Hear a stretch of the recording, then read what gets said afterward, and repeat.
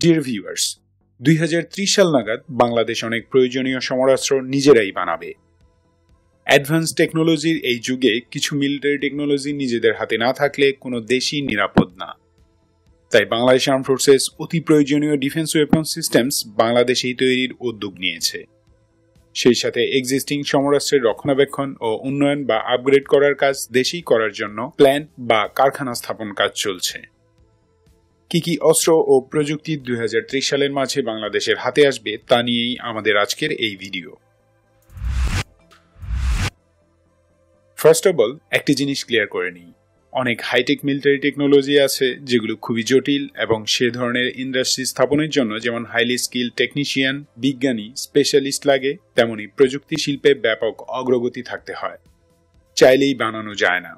যেমন ব্যালস্টিক ও অন্যান্য missile technology প্রয়োজনীয়তা ও আর্থিকভাবে সফল হবে কেবল এমন অস্ত্র প্রযুক্তিগুলিই বাংলাদেশ সংগ্রহ করছে। প্রাথমিক লক্ষ্য আমাদের নিজস্ব বাহিনীর প্রয়োজন মেটানো। তারপর সম্ভব হলে এক্সপোর্ট করা। এ ধরনের ইন্ডাস্ট্রিকে দুটি সেক্টরে ভাগ করা যায়। এক মেনটেন্যান্স ওভারহল অ্যান্ড আপগ্রেড বা এমআরও প্ল্যান দুই অ্যাসেম্বলিং ও ম্যানুফ্যাকচারিং ইন্ডাস্ট্রি প্রথমত আমরা নতুন অস্ত্র অ্যাসেম্বল ও ম্যানুফ্যাকচারিং নিয়ে বলব। আর্ম ফোর্সেস মডার্নাইজেশন প্রোগ্রামের আওতায় বাংলাদেশের লক্ষ্য অন্তত পক্ষে চল্লিশ পার্সেন্ট ওয়েপন সিস্টেম দেশেই উৎপাদন করা।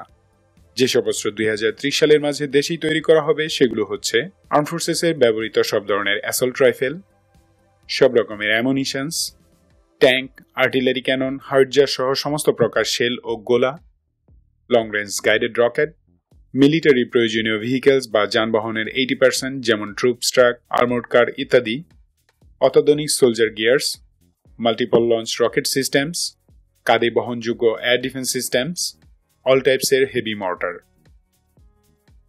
light weight fighter jet combat drone trainer aircraft combat এয়ারক্রাফটের সব রকমের spare parts guided aerial bombs defence electronics ইত্যাদি। সেই সাথে heavy frigate stealth corvette anti submarine warfare ship anti ship cruise missile naval short range air defence missile বা close in weapon system ammunition for naval guns non combat naval land O aerial military equipment ইত্যাদি।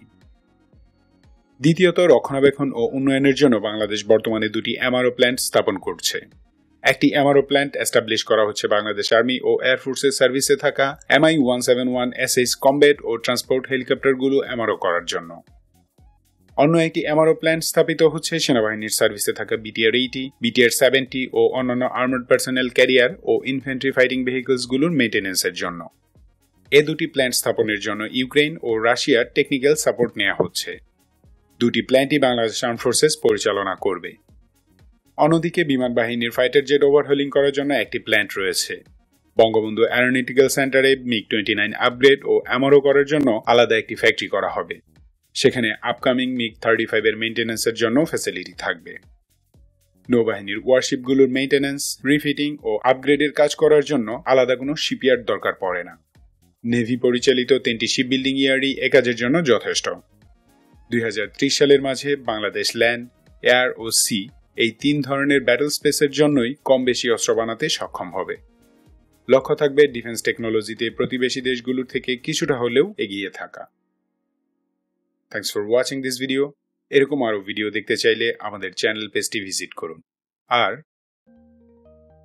আপনি যদি defence update Bangladesh চ্যানেলটি subscribe করে থাকেন, তাহলে আপনাকে আন্তরিক ধন্যবাদ। আর যদি অলরেডি সাবস্ক্রাইবার না হন, তো please hit the subscribe button and tap on the bell icon right now